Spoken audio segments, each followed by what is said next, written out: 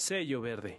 Mi producto es agroecológico porque no utilizamos insecticidas ni antibióticos. A mí me gusta la apicultura porque pues de ahí se extrae la miel y pues aparte de que pues también a nosotros como familia pues nos ayuda también económicamente.